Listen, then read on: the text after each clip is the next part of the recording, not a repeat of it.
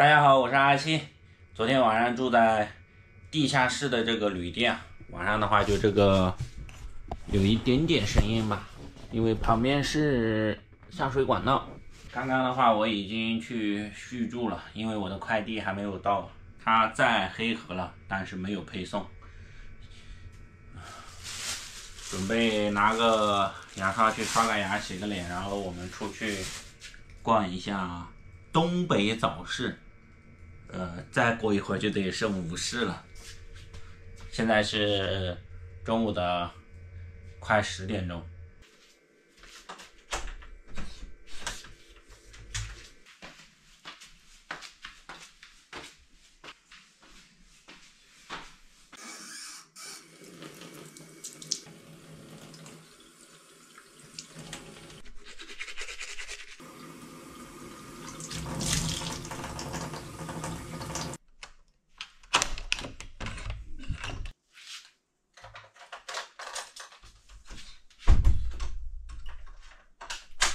穿上几件衣服就行了，不用把衣服全部穿上，因为今天不骑车。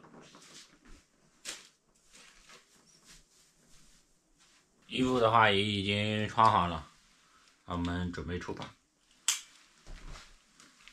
手套还是得戴着，不然的话等一下手都拿不出来。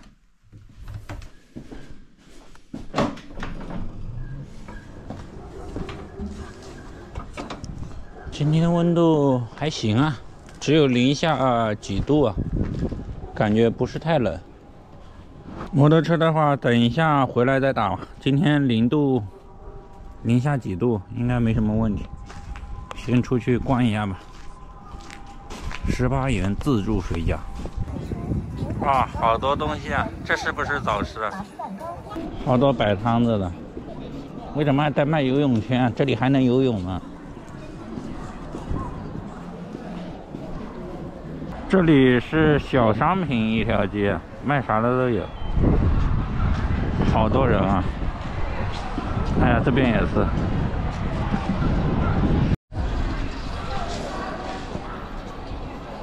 坑子，我以为是板栗呢。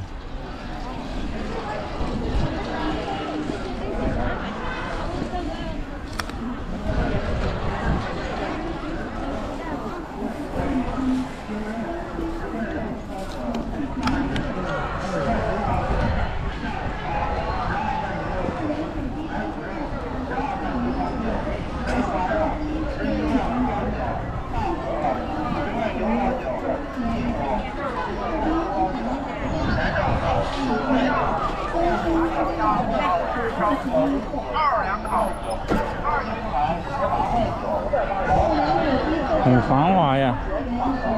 老式烧鸡十八元，正宗北京脆皮烤鸭十八。日杂店，清雪的，你看这都是清雪的工具。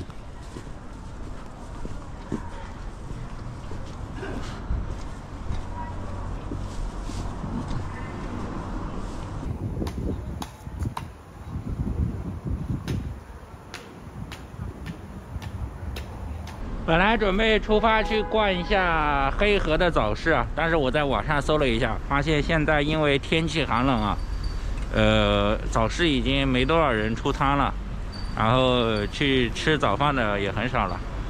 这样的话，我们就不去了吧。来的时候不太对，应该是夏天人非常多。冬天的话，他东西一拿出来就冻了，怎么做嘛，对不对？然后我们现在去刚刚的那个一。商业街区再去逛一下吧，好多卖东西的感觉。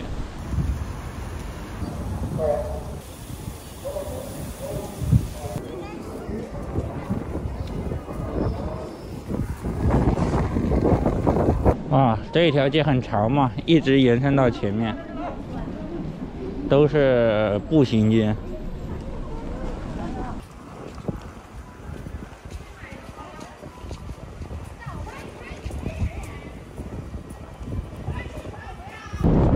风有点大呀感觉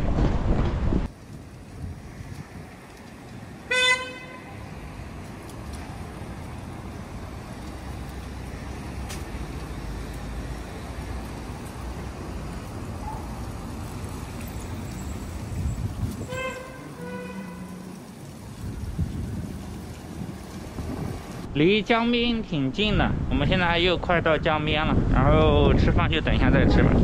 先去看一看白天的中俄边境，对面这三个就是俄罗斯大爷说的俄语。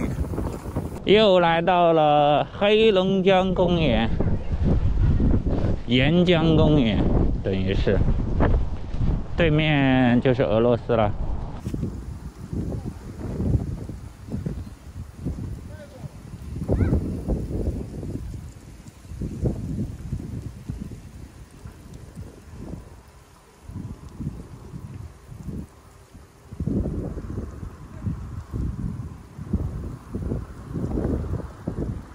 对面是俄罗斯远东第三大城市布拉戈维申斯克，这个应该是城市的热力公司啊。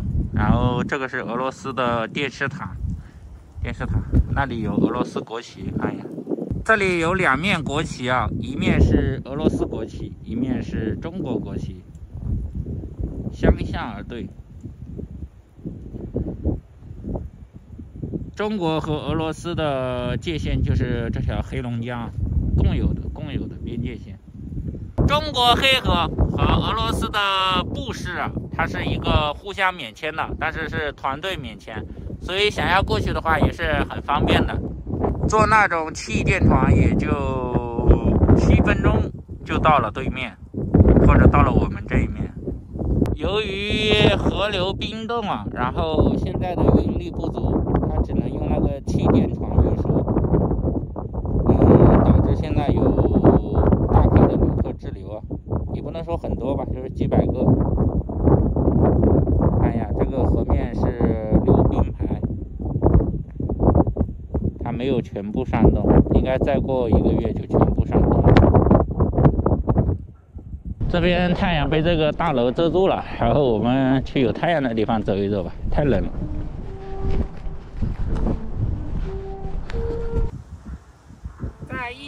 八年的时候，这里签订了《瑷珲条约》。此条约令中国失去了黑龙江以北、外兴安岭以南约六十万平方千米的领土。不然的话，我们就可以直接走到对面了。现在的话，我们过去就等于出国了。前面就是我们昨天晚上看的母亲广场，一个雕塑。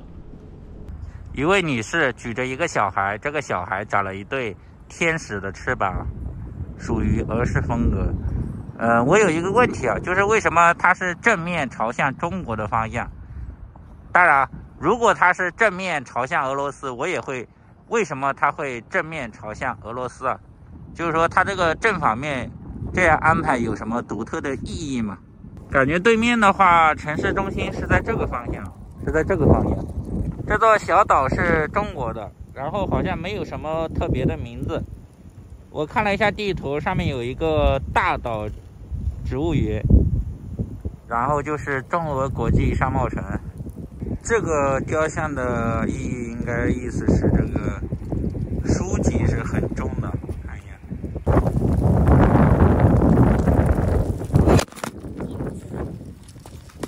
现在风太大。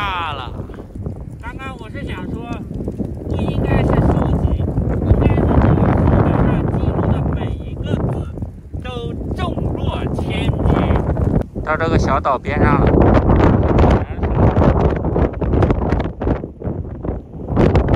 哇，风有点大，对面也没有人看我们，还没有看到人啊。我今天就走到这里了吧。都差不多，感觉风有点大，我现在准备回去了，好休息吧，然后看看快递有没有到。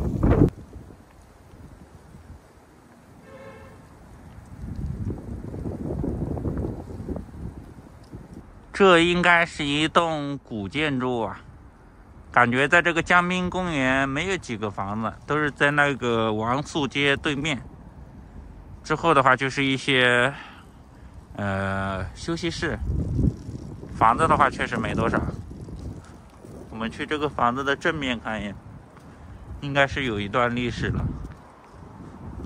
这是一个商会的房子，中俄商会还是什么商会啊？这里有牌子，我们去看一下是什么，叫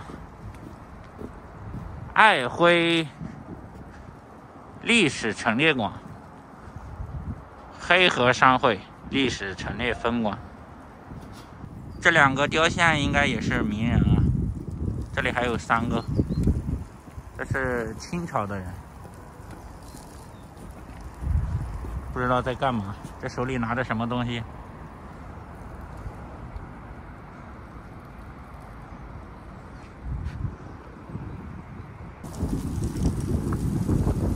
这里有一个全民健身运动场所，哎呀，还是挺齐全的。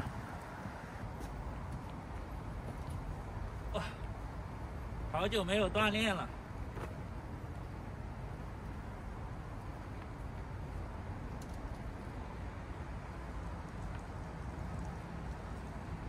啊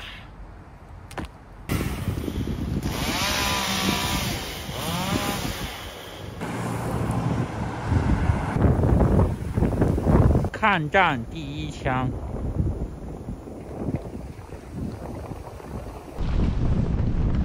又来到了这个母亲广场，然后我们继续往前，还有几百米。这个车现在晒到一点太阳了，等一下试过来试一下，应该是能打着。就是不知道电启动能不能启动。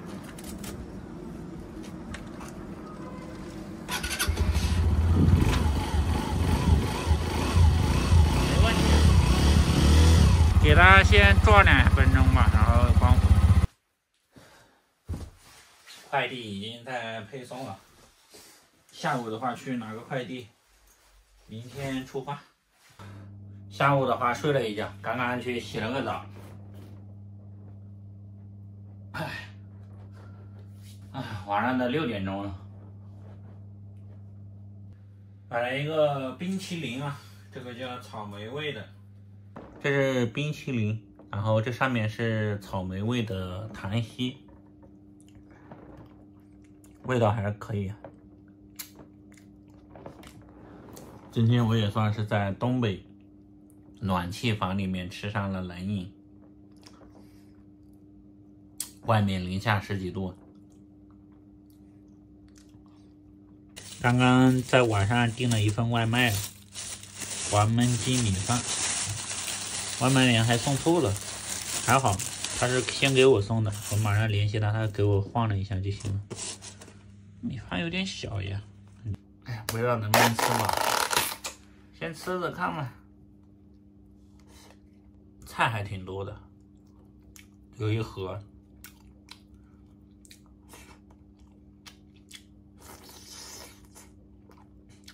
今天就是上午的时候出去逛了一下。下午的话就是在这个宾馆躺了一天，躺了一下午啊。然后今天那个快递也到了，明天出发的时候顺便就取一下就行了。还有这个是粉条啊，还是粉丝啊？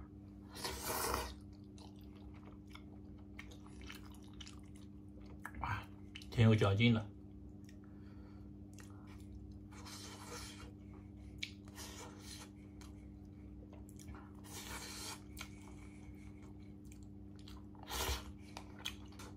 反正嘛，我吃饭嘛，就是填饱肚子就行了，也不追求什么特色美食呀这种。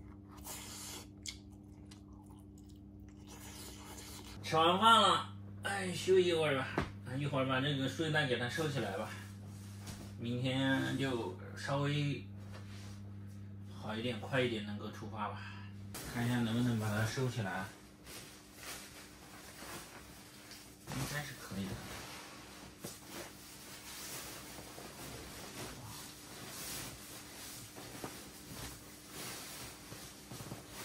感觉不好收啊，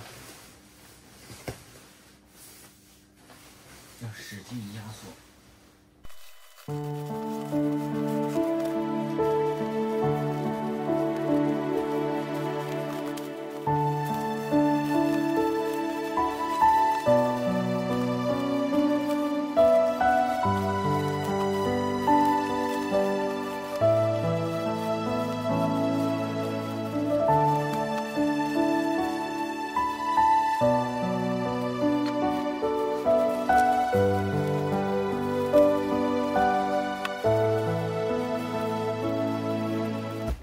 收这个睡袋，竟然收了十分钟。哎，不过这是第一次收，之后收的话，可能天天收习惯了，应该就会好一点。然后今天的话，我们就出去，白天出去逛了一下，就回来休息了，没有去哪里。明天的话，我们还是继续出发，前往哈尔滨方向。一共的话是六百多公里吧，可能要走个三天左右吧，三四天。今天的视频就分享到这里了，我就早点休息了，拜拜。